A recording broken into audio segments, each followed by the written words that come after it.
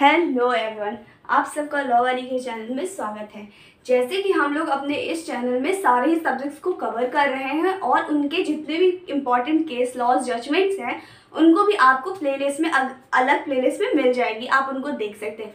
साथ में ऐसी अपडेट्स जो कि एक लॉ स्टूडेंट हो चाहे नॉर्मल आदमी हो जिससे अवेयर रहना ज़रूरी है वो भी आपको यहाँ पे दी जाती हैं। तो हमारे चैनल को सब्सक्राइब कर लीजिएगा और बेल आइकन को भी दबा लीजिएगा, जिससे कि सभी नोटिफिकेशन आप तक के डायरेक्टली पहुँच जाएँ।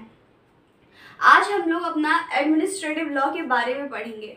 आज की इस वीडियो में एडमिनिस्ट्रेटिव क्या है, कैसे है, कैसे बनता है, इस सब के बारे में मतलब इंट्रोडक्शन हम एक तरीके से कंप्लीट करेंगे। और फिर नेक्स्ट वीडियो में आगे हम लोग पढ़ेंगे ठीक है? और चलिए स्टार्ट करते हैं। सबसे पहले हम लोग एडमिनिस्ट्रेटिव क्या है ये जानते हैं। पहले तो आप लोगों को ये मालूम होगा जो हमारी कंट्री है उसके तीन पिलर्स हैं। हमारी कंट्री डेमोक्रेटिक है और डेमोक्रेटिक कंट्री के लिए एक हमारे यहाँ जो तीन पिलर्स हैं वो क्या हैं? आप लोगों को हंड्रेड परसेंट मालूम होगा क्या है। अगर मालूम है तो पहले कमेंट सेक्शन में दे दीजिए कि, कि आप लोगों को मालूम है या नहीं। तो फिर हम लोग बताते हैं ठीक? तो सबसे पहला हमारा है लेगिस्लेचर लेगिस्लेचर पहला पिलर है हमारा लेगिस्लेचर दूसरा पिलर है हमारा जुडिशरी और तीसरा है हमारा एग्जीक्यूटिव ठीक? ये तीन पिलर्स होते हैं हम, ये तीन पिलर्स हैं हमारे यहाँ, ठीक? अब क्या होता है, आप लोगों को मालूम है या नहीं, फिर भी मैं बता देती हूँ। लेजिस्लेचर क्या करता है? लॉज मेकिंग करता है। लॉज बनाता है रूल्स बनाता है, कैसे रेगुलेट होगा, ये सब बनाता है। ठीक? अब जुडिशरी क्या है? मान के चलिए, कभी किसी लॉ में कोई ऐसी चीज़ें आ जाती हैं जो हमारे फंडामेंटल लॉ को वॉयलेट फंडामेंटल राइट्स को वॉयलेट करती हैं या कुछ भी करती हैं तो हम जुडिशरी में जा करके क्वेश्चन कर सकते हैं कि ऐसा हमारे राइट्स का हनन हो रहा है, ये है, वो करके हम इससे एक तरीके से हम अगर कोई भी रूल या लॉ गलत है तो हम अपने अगेंस्ट उन, उस लॉ के अगेंस्ट बोल सकते हैं। पर ये तो चलो, ये तो नॉर्मल सी बात हो गई कि लॉ बनाती है लेजिस्लेचर अगर उसमें कोई प्रॉब्लम होती तो जुडिशरी क्लियर कर देती है है ना? पर ये एग्जीक्यूटिव का क्या काम है? तो एग्जीक्यूटिव ये है, अगर लेजिस्लेचर ने कोई रूल बनाया, कोई लॉ बनाया, अब उसे फॉलो कैसे करेंगे? कौन कराएगा? अब हम, हमने कोई रूल बना दिया, ठीक है? हमने बना तो दिया है, लेकिन जब फॉलो कराने वाला ही नहीं है तो फिर इसका क्या मतलब है? हमारे रूल मेकिंग का क्या ही मतलब है? है ना? तो इसलिए जो भी रूल्स रेगुलेशन है, उसको फॉलो कराने के लिए, उसे एग्जीक्यूट कराने के लिए हमारी एग्जीक्यूटिव होती है, ठीक? एग्जीक्यूटिव ही एक तरीके से एडमिनिस्ट्रेटिव होती है। कि क्या कैसे एडमिनिस्टर किया जाएगा, क्या कैसे संभाला जाएगा, क्या कैसे चलाया जाएगा, इन सबको एडमिनिस्ट्रेटिव के अंदर हम लोग पढ़ते हैं, ठीक? अब पर्पस ये है, जैसे क्या होता है, हमारे एडमिनिस्ट्रेटिव लॉ का पर्पस ये है, कई बार देखा जाता है, जो पब्लिक अथॉरिटी हैं वो पक्षपात करती हैं मतलब भेदभाव करती हैं डिस्क्रिमिनेशन करती हैं, अपने किसी काम से मतलब किसी काम को लेकर के, ठीक है? और अगर वो डिस्क्रिमिनेशन कर रही हैं, भेदभाव, पक्षपात कर रही हैं तो उसको सेफ़ करने के लिए एडमिनिस्ट्रेटिव लॉ का एक पर्पस ये है, ठीक है? एडमिनिस्ट्रेटिव जो लॉ है, उसके दो मतलब कि काम है, जैसे कि इसको रख कर देते हैं।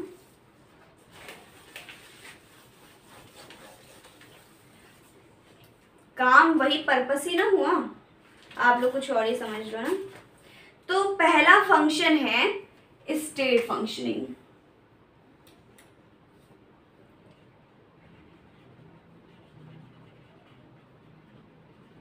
पहला क्या पर्पस हुआ? पहला हुआ स्टेट फंक्शनिंग मतलब फ़ंक्शन ऑफ़ स्टेट आप जो भी लिखना चाहो, अपने कन्वीनियंस के हिसाब से लिख लो। मतलब फ़ंक्शन ऑफ़ स्टेट वट और स्टेट फ़ंक्शन जो भी ना। पब्लिक एडमिनिस्ट्रेटिव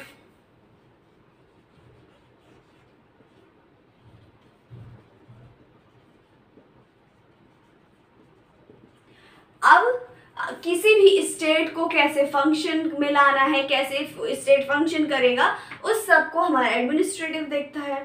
एडमिनिस्ट्रेटिव के अंदर एडमिनिस्ट्रेटिव ही तो हमारे आईएएस डिस्ट्रिक्ट मजिस्ट्रेट लोग होते हैं। होते हैं कि नहीं है ये हमें कमेंट सेक्शन में बताइएगा। दूसरा जो पब्लिक एडमिनिस पब्लिक में एडमिनिस्ट्रेशन करना ठीक है? ये हो गया हमारे पर्पस जो भी एडमिनिस्ट्रेटिव का है ठीक? अब एडमिनिस्ट्रेटिव का कुछ एक आ, एक कैसे कहेंगे एक चार्ट मैं आपको बना के बताती हूँ। आपको और अच्छे समझ में आ जाएगा। ये एक अलग चार्ट है, ठीक? है इसी के नीचे मैं और बनाती हूँ। ये एडमिनिस्ट्रेटिव का दूसरा चार्ट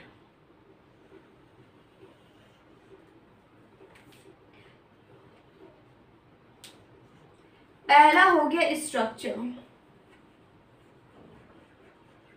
ठीक? पहला हो गया स्ट्रक्चर दूसरा हो गया सब्सटैंटिव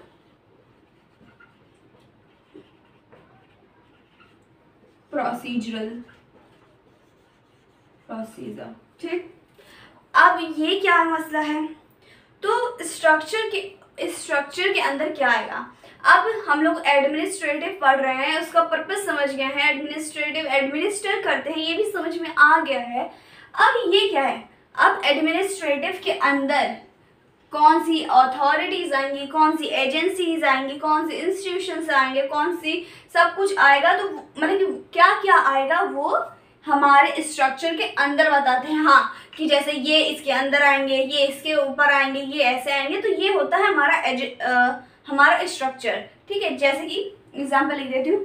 अथॉरिटीज़ कौन सी होंगी? एजेंसीज कौन सी होगी? है ना? और ई एक और लिख देती हूँ। ऑर्गेनाइजेशंस ठीक है? ये चीज़ें आती है हमारे इंस्टीट्यूशन में।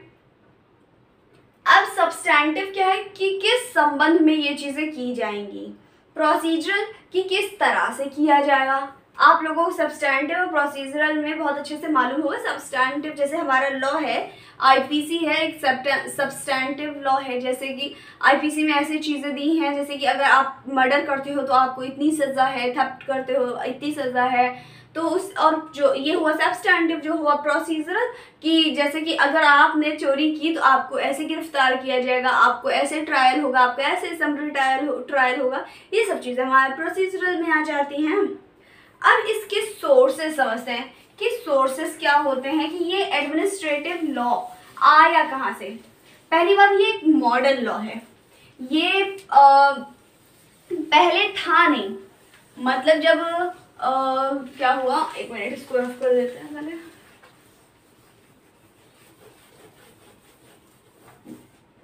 जो हमारा एडमिनिस्ट्रेटिव लॉ है वो एक मॉडर्न लॉ है। ये ट्वेंटीज़ में आया हुआ था, है ना? ये बहुत पुराना नहीं है।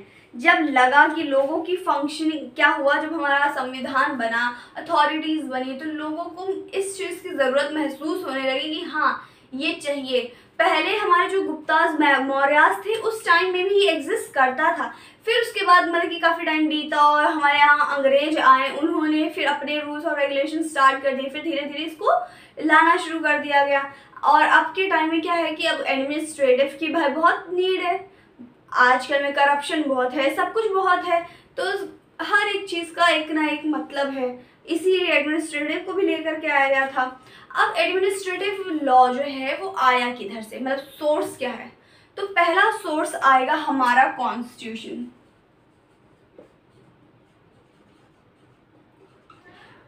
कॉस जो हमारा आप लोगों को मालूम है, जो कॉन्स्टिट्यूशन है हमारे इंडिया का, वो संविधान है मतलब सॉरी वो सुप्रीम है। मतलब अगर भी आ, कोई भी चीज़ें होनी है कोई भी चीज़ें करनी है वो चीज़ें हम लोग अपने कॉन्स्टिट्यूशन से लेते हैं। जैसे कोई भी लॉ बनना है तो उस लॉ मेकिंग लो जो लॉ मेकिंग पावर है वो हमारे पार्लियामेंट के पास और वो पाल वो पा, जो पावर है वो कहाँ पे दी हुई है? वो हमारे संविधान के अंदर दी हुई है पार्लियामेंट पावर्स के अंदर दी हुई है कि हाँ पार्लियामेंट के अंदर ये ये उसके पास ये ये पावर्स हैं।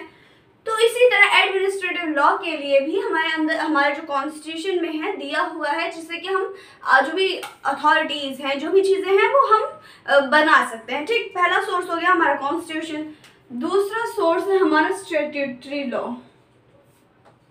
स्टैट्यूटरी लॉ जो भी स्टैट्यूटरी लॉज हैं, वो हमारा सेकंड सेकंड सोर्स है तीस, तीसरा हमारा ऑर्डिनेंस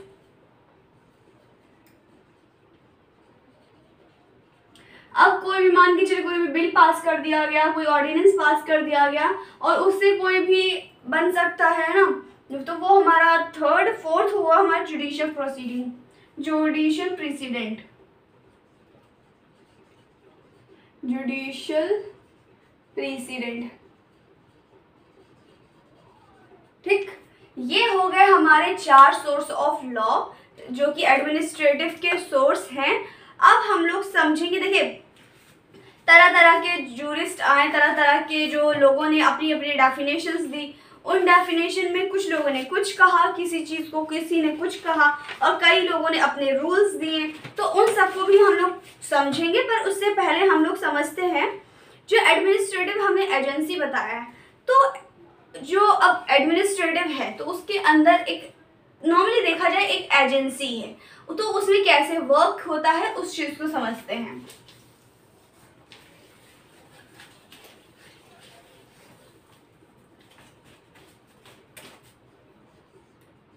एडमिनिस्ट्रेटिव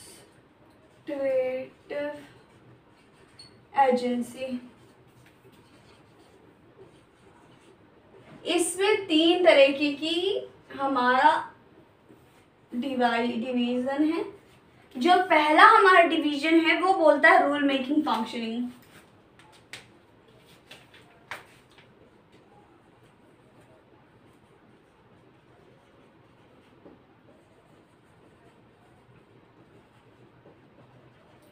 पहला है रूल मेकिंग फंक्शनिंग दूसरा इन्फोर्समेंट फंक्शनिंग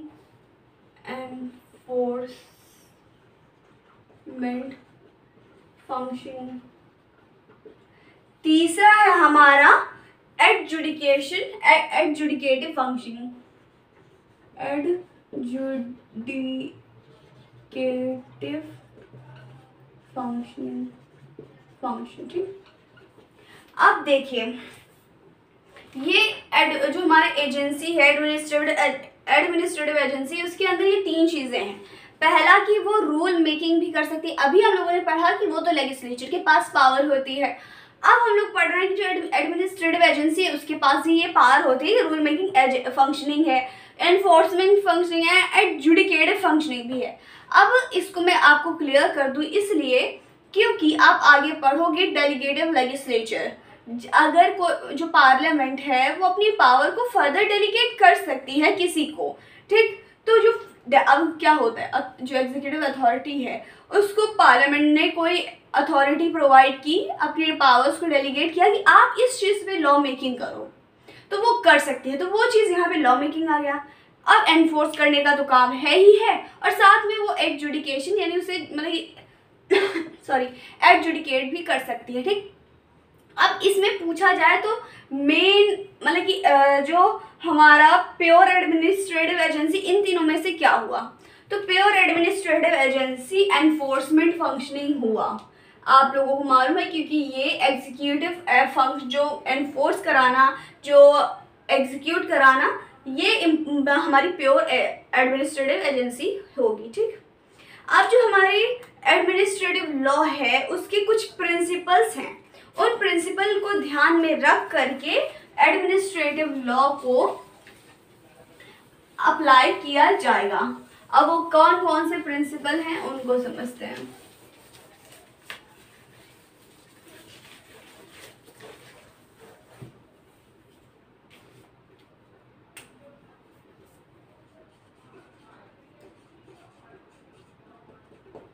ठीक, पहला हमारा प्रिंसिपल है लेजिटमेसी पहला लेजिटिमेसी।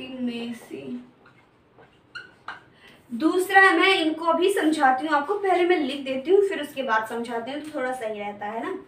दूसरा, तब तक आप लोग खुद के भी नोट्स बनाइए।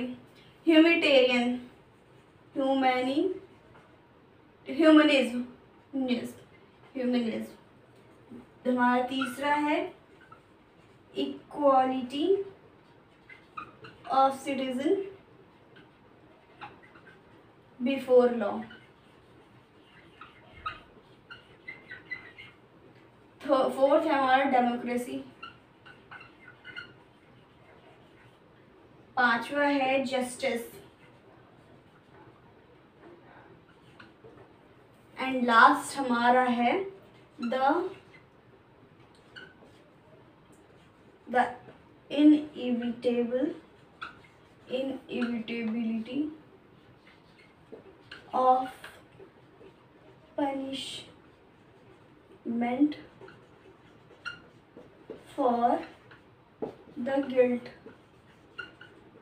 देखिए, ये मैंने लिखा है, जो सिक्स पॉइंट है, वो लिखा हुआ है the in inevitability of punishment for the guilty guilt ठीक है? इनएविटेबिलिटी की इंग्लिश जो स्पेलिंग है, वो I N E V I T A B I T B I L I T Y है, ठीक है? ये है हमारे प्रिंसिपल जिनको ध्यान में रख करके आपको आगे प्रोसीड करना है आगे फर्दर काम करना है। अब जैसे होता है ना, हमारे कुछ मॉरल्स होते हैं कुछ एथिक्स होते हैं कि हमें चोरी नहीं करनी है जिससे बोला नहीं, बचपन में बोलते हैं, चोरी करना पाप है। तो ये एक तरीके से और अगर चोरी किया तो कुछ होता है, ऐसा कुछ होता था। तो ये चीज़ें हैं जो हमें ध्यान में रख के करनी चाहिए। अगर आप कुछ काम करो तो उसमें चोरी ना करो, है ना? कुछ ऐसे प्रिंसिपल्स हैं जो दिए हुए हैं आपको इन चीज़ों को लेकर के ध्यान में रख करके करना है। जैसे आप कुछ काम करने जा रहे हो लोगों का हित हो बुरा ना हो इन सबको ध्यान रखना ज़रूरी है। तो उसी में हमारा पहला है जो पहला प्रिंसिपल है वो लेजिटिमेसी है। अब लेजिटिमेसी मीन्स कि जो लीगल है जो सही है जो जायज़ है आप वैस उसको उस तरह में करो। मतलब पहले जायज़ जो मतलब सही है उस तर, उस काम को उस तरह करो ठीक है? ह्यूमन ह्यूमनिज्म जो लोगों का है, सब ध्यान में दे करके करो कि लोगों को प्रॉब्लम ना ना मतलब कि ह्यूमंस को प्रॉब्लम ना हो, उसके हित में हो, कुछ भी, है ना? Equality of citizen before law जो लॉ है, उसके सामने इक्वालिटी हो, जो ह्यूमंस हैं, उनकी इक्वालिटी हो, जो हम लोग आर्टिकल फोर्टीन में भी पढ़ते हैं ना? डेमोक्रेसी हो, डेमोक्रेसी वही वाला हाल है कि राजा का बच्चा राजा नहीं बनेगा, डेमोक्रेसी, जो भैया जीत, जो अगर मान के चलिए आप पढ़ने में अच्छे हैं, आप लिखने में अच्छे हैं तो आपको प्रायोरिटी मिलेगी। उसको प्रायोरिटी नहीं मिलेगी जो कि पहले से उसका बच्चा बैठा हुआ है ना। मतलब जो ऐसे ही अपना सोर्स से पहुँचे उसको नहीं। ना, लाल, हमारा फिफ्थ है जस्टिस जस्टिस आप लोगों को मालूम है सब कुछ। निरपेक्ष होना चाहिए, सही होना चाहिए। फेवर अगर कोई विक्टिम है, अगर वो सही है तो उसके फेवर में होना चाहिए, गलत वाले फेवर में नहीं होना चाहिए। लास्ट है the in inevitability of punishment for the guilt जो भी पनिशमेंट है गिल्ट की, जो भी गलती करता है तो उसकी पनिशमेंट मतलब कि अब ऐसा नहीं है, सात साल की सज़ा आप उसको आजीवन कारावास दे रहे हैं। तो ये सब चीज़ें हैं जिनको ध्यान में रख करके आपको अपने काम को फर्दर आगे बढ़ाना है, ठीक है? अब हम लोग समझेंगे कुछ लोगों की डेफिनेशन जिससे जो जो कहा था, ठीक है? फिर उसके बाद आप लोगों को, आप लोगों ने natural justice rule of law delegated authority president इन सब के बारे में हम लोग आगे नेक्स्ट लेक्चर में पढ़ेंगे, ठीक है? तो अभी हम सबसे पहले समझेंगे जो Albert Venn Dicey Dicey Dicey आप लोगों ने बहुत सुना होगा। ये एक ब्रिटिश जूरिस्ट थे। जूरिस्ट वही जो बहुत अच्छे से पढ़े लिखे होते हैं मतलब कि स्कॉलर होते हैं, पढ़े मतलब कि बहुत ज़्यादा नॉलेज लिए होते हैं, उन्हें हम जूरिस्ट कहते हैं बेसिकली ठीक है? ये कॉन्स्टिट्यूशनल थ्योरिस्ट थे, ठीक? अब एवी डाइसी क्या कहते हैं? उनकी डेफिनेशन एक बार सुनिएगा। Administrative law is that the portion of nation portion of notion, legal system, which de determines the legal status and liabilities of all state officials. ये कहते हैं, किसी नेशन का ऐसा एडमिनिस्ट जो एडमिनिस्ट्रेटिव लीगल सिस्टम है, जो कि डिटरमाइन करता है उसके स्टेट ऑफिशियल का स्टेटस जो लीगल स्टेटस उसको, और साथ में उसकी क्या लाइबिलिटीज़ हैं, वो होता है administrative according to A V Dicey ठीक? इन्होंने तीन थ्योरी दी थी, और उन्होंने तीन थ्योरी दी थी, जिसमें rule of rule of law को बताया था इन्होंने। ये, जो ये डाइसी है रूल ऑफ़ लॉ को बताया था। उसके अंदर तीन थ्योरी थी।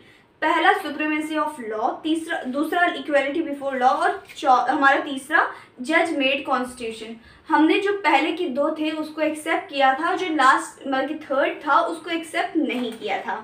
आगे हम लोग इसमें, आगे इसके मतलब जितना भी डिटेल्स है, वो हम लोग नेक्स्ट में पढ़ेंगे, ठीक है? आई होप आप लोगों के समझ में आ रहा होगा।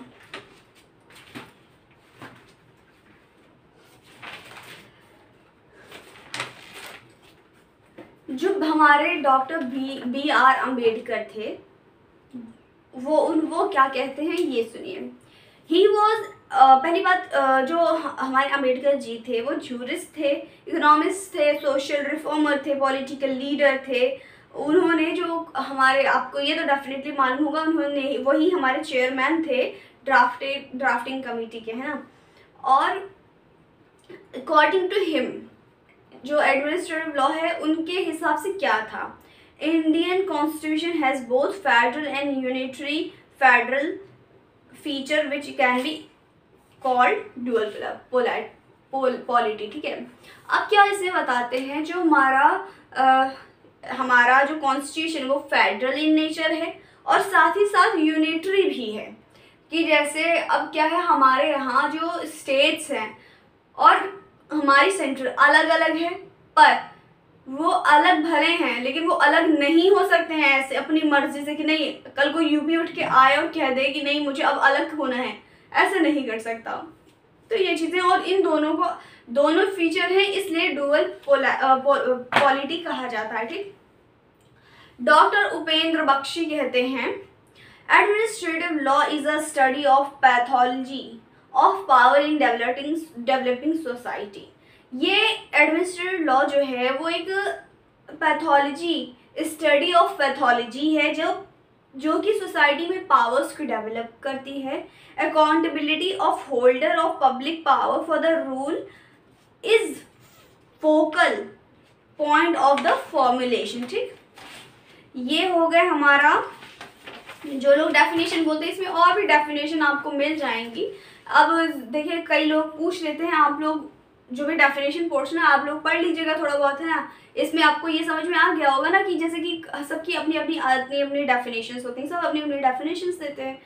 और जो हमारा अभी लास्ट पॉइंट हम लोग पढ़ेंगे कि जो एडमिनिस्ट्रेटिव एक्शंस हैं, जो एडमिनिस्ट्रेटिव है, उसके ऊपर किसका कंट्रोल होगा? तो उसमें कंट्रोल होगा हमारे पहला लेजिस्लेचर का और दूसरा जुडिशरी का। लेजिस्लेचर का भी कंट्रोल होगा और जुडिशरी का भी कंट्रोल होगा। और जुडिश जो हमारा जुडिशरी है जुडिशियल कंट्रोल होगा, वो तीन तरीके में होगा। पहला कॉन्स्टिट्यूशनल दूसरा स्टेट्यूटरी और तीसरा ऑर्डिनेंस इक्विटेबल इसको मैं लिख देती हूँ, आप लोग लिख लीजिएगा। पहला जो कंट्रोल होगा लेजिस्लेचर और जुडिशरी पे होगा। मतलब एडमिनिस्ट्रेटिव के ऊपर पहला लेजिस्लेचर फिर जुडिशरी का और अब जुडिशरी के तीन फॉर्म होंगे। पहला स्टेट्यूटरी दूसरा कॉन्स्टिट्यूशनल और तीसरा ऑर्डिनेंस इक्विटेबल